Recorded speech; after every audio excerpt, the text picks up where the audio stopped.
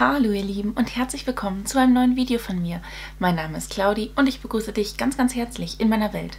Heute möchte ich ein kleines, feines, schickes, schnuckeliges Schminktutorial machen, wie auch immer. Und zwar geht es um die Essence The Rose Edition Eyeshadow Palette. Die ist relativ neu im Sortiment, hatte ich jetzt in der Glossybox Young und die möchte ich mit dir zusammen in diesem Video einmal testen. Also wenn du Bock drauf hast, dann hol dir was zu essen, hol dir was zu trinken, lehn dich zurück, genieß die Show und viel Spaß mit dem Video. Natürlich habe ich mal wieder meine Lidschatten Base vergessen aufzutragen, die ich nun schnell auftrage. Alle Produkte, die sich in meinem Gesicht befinden, sind unten in der Infobox verlinkt. Da kannst du gerne mal vorbeischauen, wenn du möchtest. Also alles, was ich jetzt auch quasi schon vorher verwendet habe, von meiner Base her und so weiter. Und ja, ich habe gleich einen ähm, Termin über Hangouts tatsächlich. Und äh, das ist so ein Videoanruf und da wollte ich mich jetzt einfach ein bisschen schick für machen und äh, euch da einfach mal mitnehmen, dass ihr euch das angucken könnt. Beziehungsweise, ja, dass ihr euch das angucken könnt, wie ich mich mit der Palette schminke. Hm. Ich habe mir mal so einen ganz simplen Look damit geschminkt. Also wirklich nur mit zwei, drei Farben oder so davon. Noch nicht wirklich viel, ne? Dieses Rot habe ich auch da drin verwendet. Das ging rucki zuck. Also das war relativ simpel. Ich nehme hier auch einen Spiegel, den äh, lege ich mir hier oben rein, weil hier ist ja kein Spiegel in der Palette drin. Dann hole ich dich ein Stückchen näher ran und dann legen wir los. Mit diesem Ton werde ich jetzt mal meine Lidschattenbase setten. Die Töne in der Palette haben enorm viel Kickback, also die krümeln richtig doll. Und wenn man die nicht ordentlich abklopft, haben die auch richtig viel Fallout. Da muss man halt aufpassen. Aber es ist einfach eine Palette und das darf man einfach nicht vergessen, die ich glaube 4 Euro oder so kostet. Und ähm, da sind meine Ansprüche an die Palette jetzt auch nicht riesengroß. Da brauche ich jetzt nicht irgendwie einen Ultra-Look mit kreieren können. Ähm, schön wär's. Das war eine Erinnerung auf meinem Handy. Herzlichen Glückwunsch. Ähm, ja. Deswegen, ne? Also erwarte ich jetzt auch nicht, dass ich da einen mega heftigen Look mitkriege. Als nächstes gehe ich in den Ton, der sich daneben befindet und nehme einfach den gleichen riesengroßen, fluffigen Blendepinsel, den ich jetzt auch habe und äh, kreiere mir eine softe Lidfalte. Wirklich ganz, ganz soft.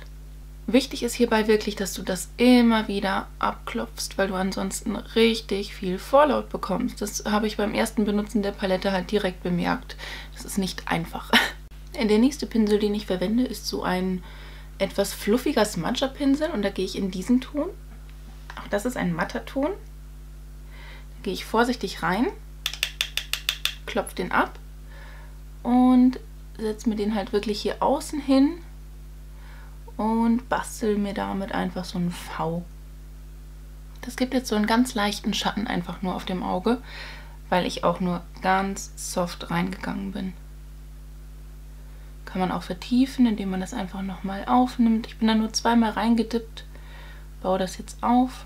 Also entweder wirklich ganz wenig Farbe aufnehmen oder ganz ordentlich abklopfen.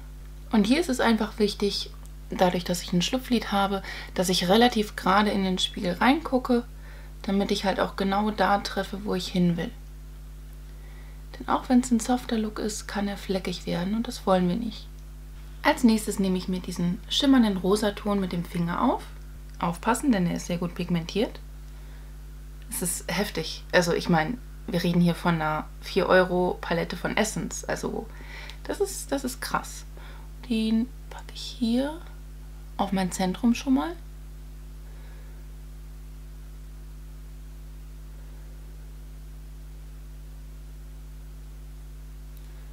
Das ist so eine heftige Strahlkraft und so viel Pigment, das ist schon krass. Diesen roten Schimmerton gebe ich mir mit dem Finger nach außen hin. Und nicht wundern, das Feintuning kommt gleich noch.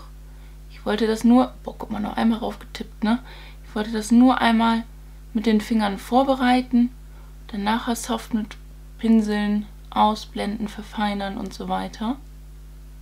Weil du kriegst die Farben einfach besser mit dem Finger aufs Lid. Aber wenn es dann ums Verfeinern geht, brauchst du Pinsel. Also ich, ich habe echt Riesenfinger, Leute.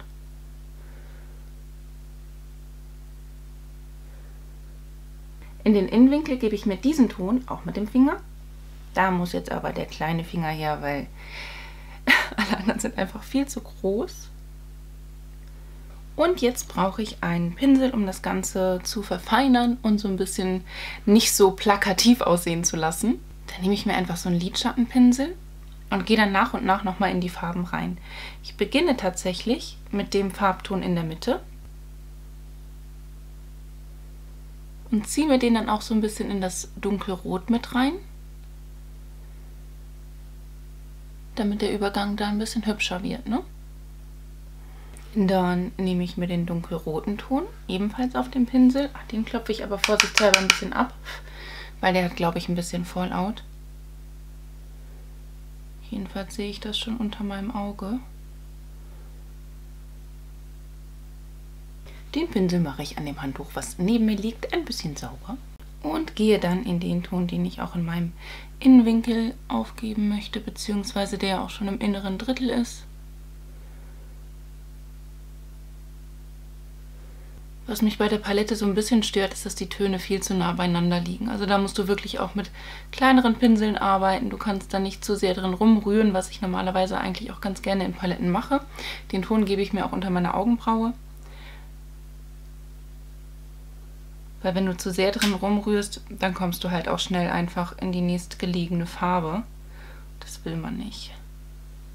Mit diesem Blendepinsel von eben gehe ich nochmal in die Lidfalte, um die ein bisschen ohne neu aufgenommene Farbe auszublenden.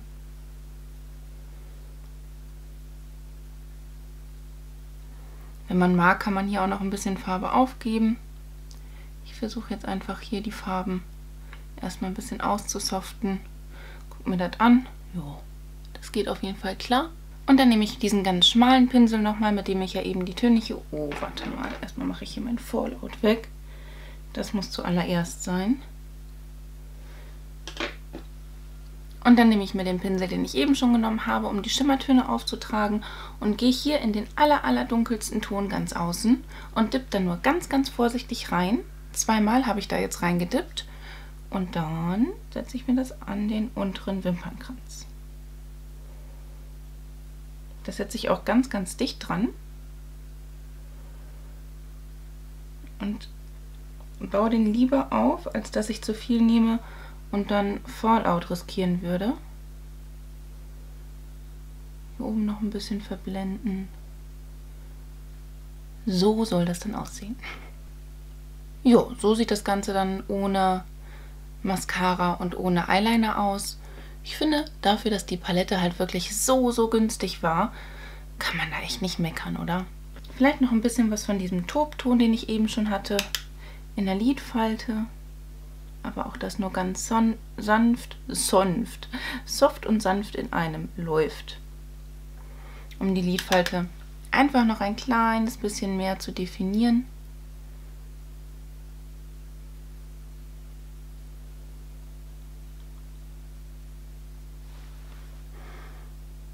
Und mache ich jetzt mal den Feinschliff mit Eyeliner und Mascara.